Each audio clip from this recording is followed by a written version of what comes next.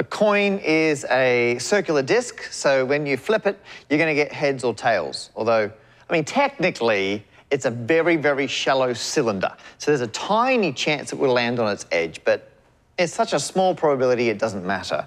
But then I was thinking about it, and something like a pen is the other extreme. It's a very, very long cylinder. And if you flip a pen, it's going to land on the edge. And there's like a trivial chance, if this was a coin, you'll get heads or tails. And I'm like, well, somewhere between this and this is a coin which is as likely to land on its edge as either its faces. And actually, I got an email from someone who watches my videos, which happens a lot. And uh, this is Isaac Briefer, and he asked a question about a cylindrical die. He means a dice, which has equal chance of lying on any of its faces when you throw it. And this got me thinking. I was like, yeah, what is the thickness required so the edge is as likely as heads or tails. And there are some solutions online. I looked them up. I had to think about. It. I was like, you know? I think it's more complicated than these people are making out. I need to. I need to talk to an engineer. And so I phoned up my domesticated engineer, Hugh Hunt, which is why I'm here in Cambridge. He's done some working on it, I've done some working on it. We've all become a bit obsessed. We're going to try and answer the question of how thick is a three-sided coin. So uh, Hugh, he's powered down. This is what happens if you don't give him enough maths to do at any point in time, and he's back up again. Uh, what are you doing here? This is how engineers are born. They, they come out like this and then um, power up. So, right, Hugh, uh, you've had to think about this. You've done some working out. Interesting. I mean, if you, if you think of, of your coin as being like this roll of tape. Okay, that's, that's easy to see the thickness. It's got yeah. some thickness. Yep. And it's got a diameter.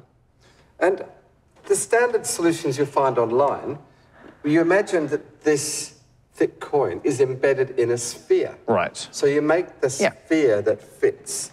Now, this is a picture of that sphere. And That's it. This are the flat sides, and that, so that's looking edge That's the on. profile of that, right, okay. So, so the circle face is over there, got it. Yeah. So I've got this sphere, and you can imagine fitting a disc, a thick disc into there. The idea is that if this then lands on the ground, let's eh, have one third of the area of the surface of the sphere associated with one face. That face. A third associated with the that other face. And a third associated with a band around the middle, which is the edge. The idea that if it lands randomly on a point on the sphere, it's going to settle onto. Settle on okay. Right. Okay, I can I can accept that. And there's a nice formula, which is that this band area is two pi times the cool thickness of the band uh, times the radius of the sphere. And with a little bit of Pythagoras, and it's, it, it comes out that the diameter you need for the uh, uh, for the disc uh, is 2 root 2 times the thickness of the disc. So it ought to be that this, if I toss it up in the air, this will land a third that way, a third that way, and a third that way. But the question this is actually answering is, what size should a disc be so it splits the area of a sphere into thirds? Yeah, and, and I'm not convinced that that's the right question. Right, so you've done some separate working yeah. out, which is, this I hadn't seen before. So this, this is online. If you look it up, you'll find that. This is the Hugh Hunt special. Yeah, well, because what bothered me really is that if I take this, um, this coin and toss it up and let it land, this rotation just doesn't matter. It doesn't matter. Yeah, symmetric. It's totally symmetric. So I kind of thought, well, why do we have to go to the trouble of looking at a sphere? What a waste. What a waste, exactly. So I thought, let's just look at a circle. Same uh, diagram. Yeah, they look very similar, except this is now a circle, and I'm saying, well, this view, here's my side-on view of my coin. Um, and then I want this perimeter of the circle to be one third, this and this to be a third, yep. and this and to, to, be, be, a third. A third. Oh. And I kind of think, well, the physics is no better or worse than the sphere, but it's going to give me a, a different answer, I'm That's pretty sure. very unsettling. Yeah, well, so carry on. Yeah, yeah. And, so, and this turns out to be quite neat because you've got a nice uh, right angle triangle here, but the angle here yep. is uh, 60 degrees. And you kind of know your, your 60 degree triangle. You're just splitting a circle into thirds. Splitting a circle into thirds, and it comes out really neat. I actually, I tend to write that as the 1, 2, root 3 triangle. It's one of my favourite triangles. It's a great triangle. It's a great triangle. Big fan. There's lots of great triangles. And that's why you get root threes appearing in trigonometric ratios. Anyway, oh, oh, anyway sorry. Ah, ah, ah. Right, Carry on. okay. So you end up with that the diameter of your uh, of your coin needs to be root three times the thickness to get the equal uh, perimeters on this um, on this circle. Now, when we did it for the sphere, we got two root two. Yep. And when we did it for the uh, for this circle, we get root three. And probably neither of them are right. But I'd like to know which is close. Do, do, do these represent real How close to reality are and these are, you know, both very uh, super theoretical. And if you actually flipped a coin, I mean, I mean, you, you're, you're a big fan of momentum. Yeah, momentum, Right, there- there- dynamics, gyroscopic. I I mean- mean, look at that. Like, if, if, you, if you spun a coin, that's going to be very different. So, Different. so it's going to land on the table in some way. You know, what's it going to? look at that edge.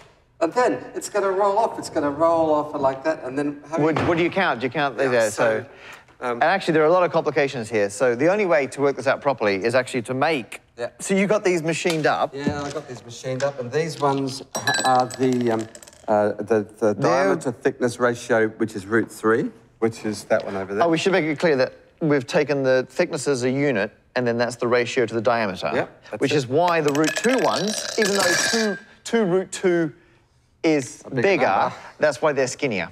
So that makes sense. That does make This makes sense. So these ones are the sphere models, and these, These are ones the are the circle models. Circle models, and there's ten of them. Yep. And I wanted to do hundred throws to get a thousand nice big statistical sample.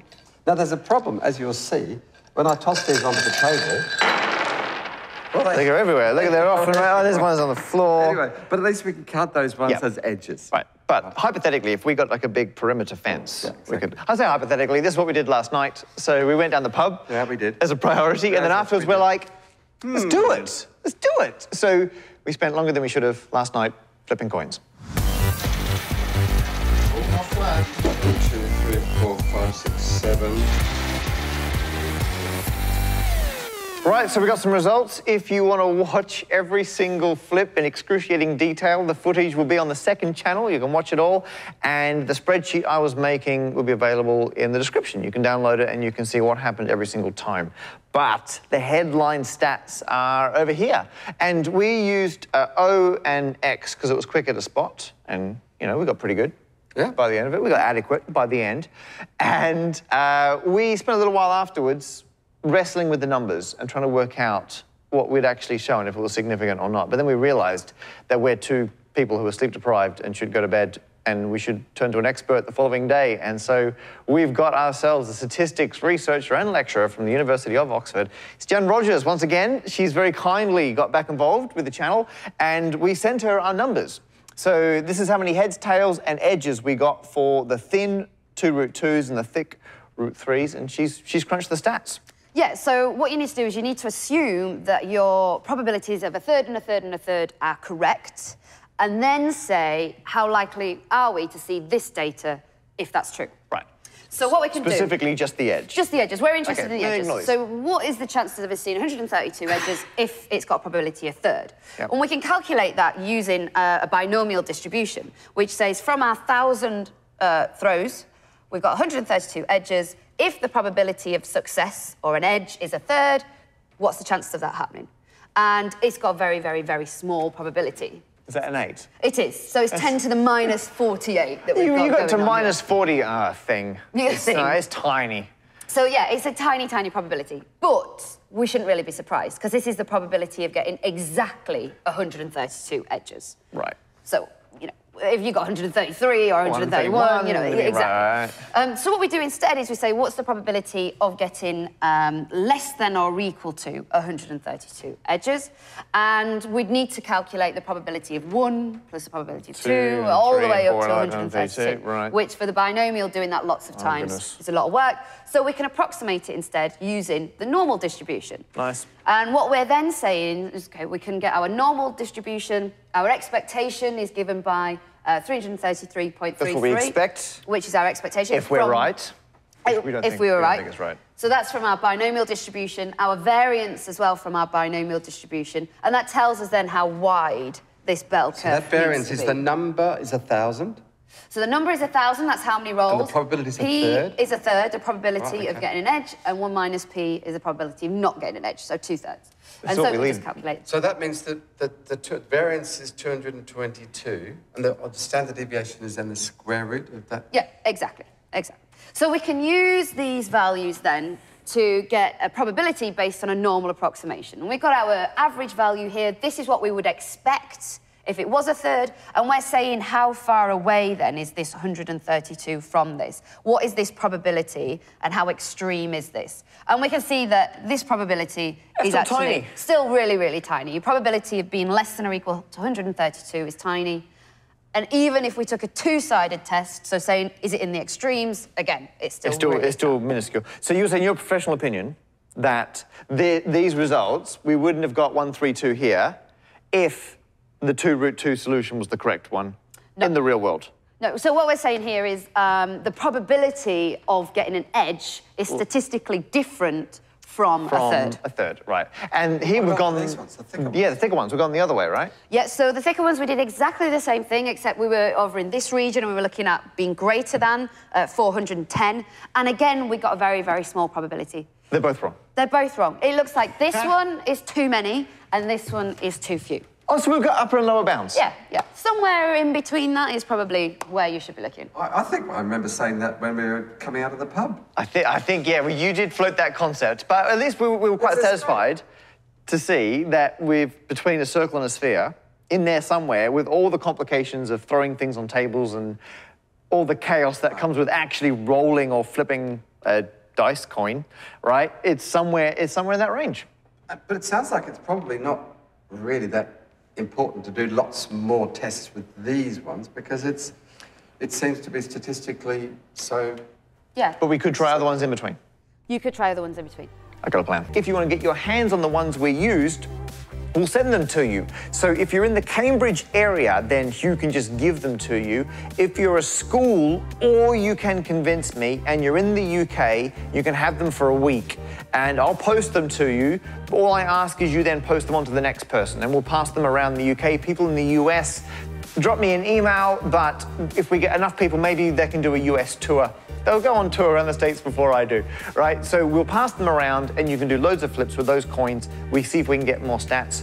Possibly more importantly, make your own coins. If you can make some coins with different thicknesses between the two that we tried, do loads of flips, send us the results, then we can start to try and hone in. Because I'm curious experimentally where it is. We were thinking of using a laser cutter because once you know the thickness of whatever it is you're cutting into, you could laser cut the exact ratio, even like etch an X onto it, so you don't have to do that afterwards. Do loads of flips, let us know. I think as a community, we could work out the thickness required.